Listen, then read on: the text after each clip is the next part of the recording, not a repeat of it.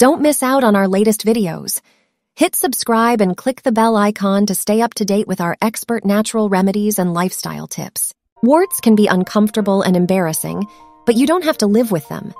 Did you know that warts are caused by the HPV virus and can appear on any body part at any age? Fortunately, there are natural remedies that can help eliminate them. Let's start with the first remedy castor oil and baking soda.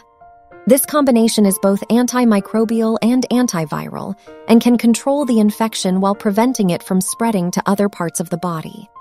To try this remedy, mix one tablespoon of baking soda and two tablespoons of castor oil, then massage the solution into the area around your warts.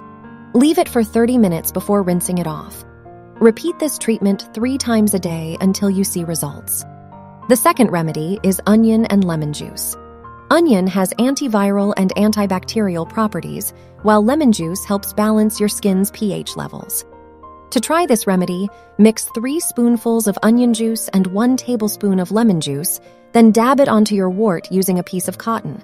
You can also wrap it to allow the solution to treat the wart overnight. Repeat this treatment until you see results. Finally, aloe vera and honey are great at fighting warts.